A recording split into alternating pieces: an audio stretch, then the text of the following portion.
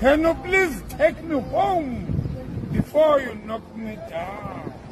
In the heart of South Africa's festive season, where celebrations echo with joy, a quick video unfolds, capturing the essence of a beloved brew, Carling Black Label.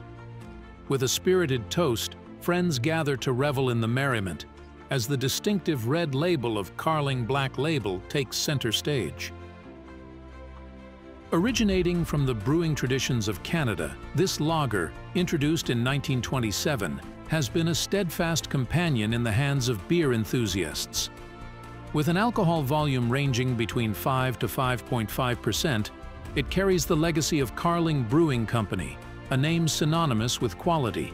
Delving into the brewery's history, Carling has been crafting lagers since the 1870s, a testament to its enduring commitment to the art of brewing. In a transformative move in 1927, under the leadership of J. Innes Carling, the black and white lager was rebranded to the iconic black label, setting the stage for a global journey. Enter E.P. Taylor, a Toronto business tycoon whose acquisition of Carling paved the way for Black Label to make history.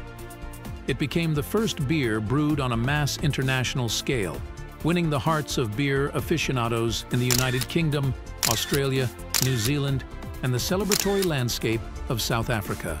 As the video unfolds, sip by sip, it's not merely a drink, it's a voyage through time, culture, and the shared joy of festivities. So, whether you're in the company of friends or enjoying a quiet moment, Carling Black Label stands as a timeless brew, weaving stories that span continents and generations.